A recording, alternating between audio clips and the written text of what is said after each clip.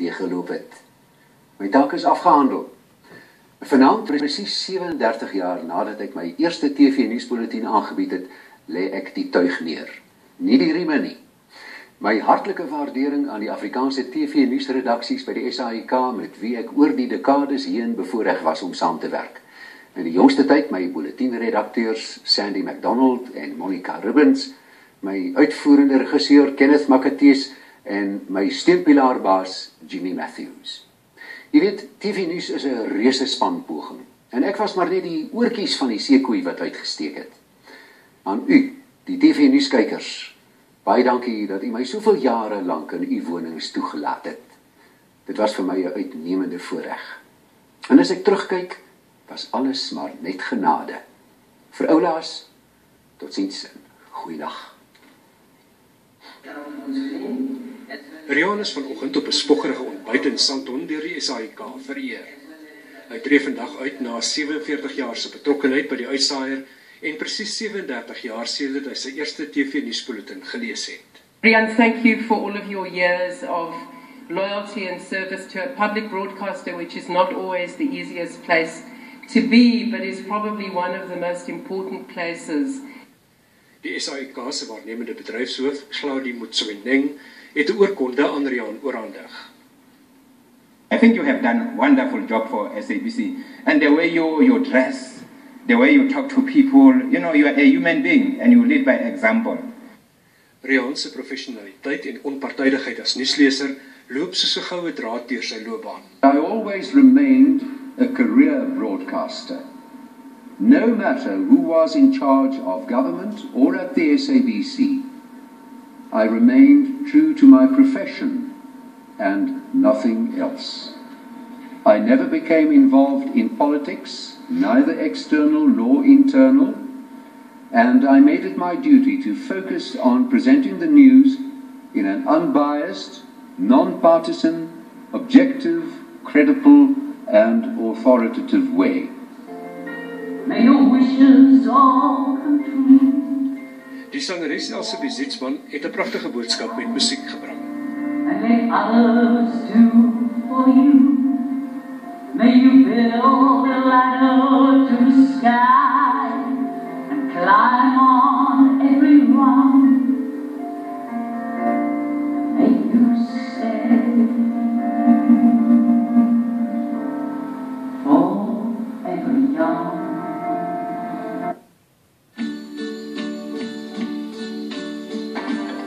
Goeienaand, welkom by hierdie nuusuitsending. Rian Kruiwagen, wat reeds 47 jaar aan die SAIK verbonde is, was die afgelope 37 jaar 'n gereelde kuiergas in die huise van miljoene Suid-Afrikaners. Hy wou sy lewe lank 'n uitsaaier wees. Toe hy in 1965 by die SAIK as 'n vryskut joernalis begin werk het, het hy sekerlik nie verwag om by sy uittrede as die gesig van Afrikaanse TV-nuus erken te word nie. Trouwens, 'n ware handelsmerk vir Afrikaans en volksbesit.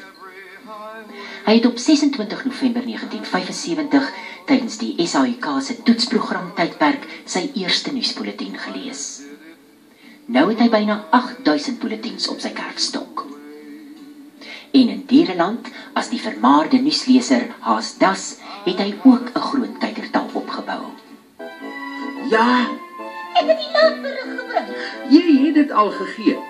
Af, skort. Om te groet na 'n lang en roemryke loopbaan is nie maklik nie. Ek gaan waarskynlik die adrenalien en die opwinding van regstreekse nuusuitsendings die meeste mis. Dit is soos 'n verslawing. En as 'n mens van 'n verslawing ontslaaf wil raak, dan dink jy nog net een keer. Suid-Afrikaners uit alle sektore van die gemeenskap het oorweldigend gereageer op sy aankondiging dat hy vandag as nuusleser uittreë. Honderde e-posse en briewe is ontvang en sosiale netwerke het gegons. Rian is oor byna 4 dekades heen in meningspeilings bestempel as uiters professioneel en objektief. Trouwens, hy is in 'n stadium in 'n meningspeiling uitgewys as die tweede geloofwaardigste Suid-Afrikaner na Madiba. You know, I think the Afrikaans community must be quite changed fatigued. If you think of how the country has changed in the last 20 years, but the one thing that's remained constant, the one significant thing that's remained constant in their lives is Rian Kreiwagen. They know that when they switch on the TV to watch the news, there is Rian to assure them that everything is fine.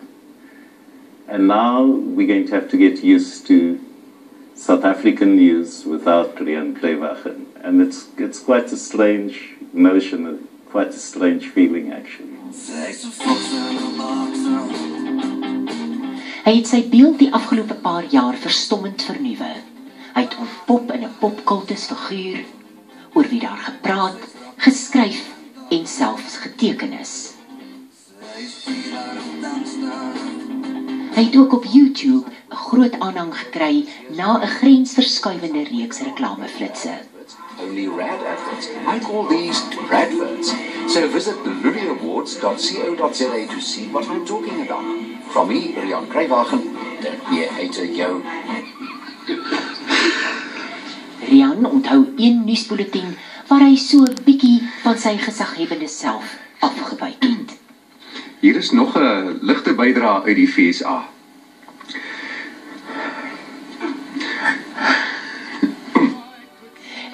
Baie brûe vir Afrikaans gebou. Rian is een van daai Suid-Afrikaners wat regtig waar grense in hierdie land oorgesteek het. En selfs die geslag van 76 het aanklank by Rian gevind. En ek dink hy het 'n enorme rol gespeel om Afrikaans weer cool te maak. Sy vrou Rihanna is bly oor die stap in sy lewe. Nou sien ek daarna uit om om vir myself 'n bietjie te kan hê en dat ons saam dingetjies kan gaan doen, saam teater toe te gaan, saam te gaan fliek en dan ook veral vir daai impulsiewe besluit, kom ons gaan lekker weg vir 'n naweek. Daarna sien ek uit. En sy dogter Anita het vir hom 'n boodskap uit die hart. Pappa, ek het 'n wens wat ek vanaand aan pappa wil opdra. Gaan geniet die aftrede. Gaan sit en doen niks. Wees rustig. Ek weet pappa sukkel met dit. Pappa kan nie sit en niks doen nie, maar oefen, doen dit en kry dit reg. Rian wil nou baie meer tyd aan sy kleinkinders Tian en Emma bestee.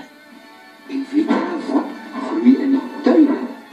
Roomhuisblom. Rian Kruiwagen het nog altyd gesê hy sal aanhou nuus lees totdat hy dit reg kry. Hy het dit reg gekry met onderskeiding. Maria Wallis, SAUK nuus, Johannesburg. It was my